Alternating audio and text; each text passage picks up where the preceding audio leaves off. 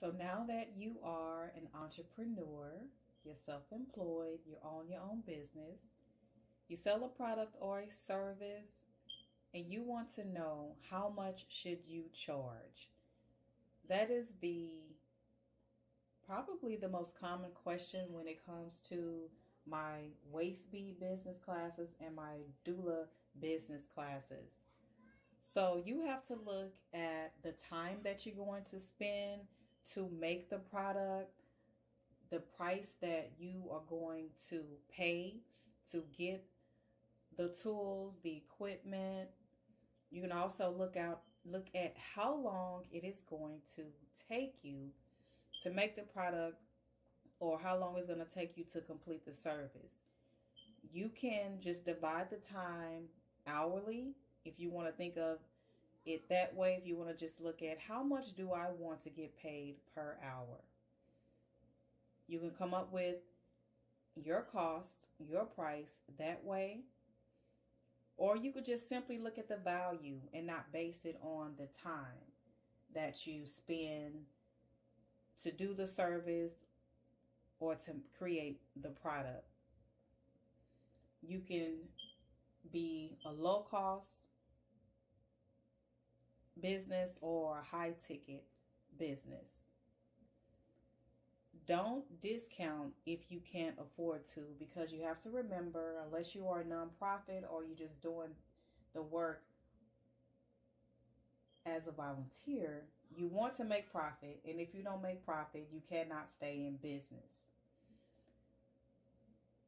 So you may want to compete with the big multinational companies or you want to compete with people on a lower level, you just have to really sit down and figure it out. But you don't want to charge a price that you don't feel comfortable with. So you can ask other people. Of course, if the price is too high and people are not purchasing it, you obviously have to lower the cost, whether that means takes away take away the value or take away the amount of time that you spend on whatever it is that you are selling. So when it comes to my doula training program, I do charge more than the average programs, but that is because I give more of a value. It's more of a one-on-one contact access with me and, and continuing education is included. And when it comes to the waist beads, people also ask me how much do they feel like they should charge. Now, I've seen waist beads really low and I've seen them to be as high as the, the most expensive one that I've seen was around $200. So I'm sure that that included gemstones and some really type of durable string, I am assuming. But I remember seeing that online. So I don't have my waist beads that expensive right now at the moment. But when it comes to selling my African waist beads, I often get people who have traveled to Africa to question me on the cost of my waist beads, which, which they're still not expensive, but they're not cheap as they are over in the continent. So people who are, you know, traveled or from the Caribbean islands or a country in Africa don't want to pay my price because over there on the street they are cheaper. But you also have to look at the fact of if you want to go to that country and buy your waist beads, then get ready to spend thousands of dollars for that trip to buy your product. So you still have to take in mind the shipping, the travel, the value, the supply, the demand. And you also have to look at the time that it takes you to make the waist beads.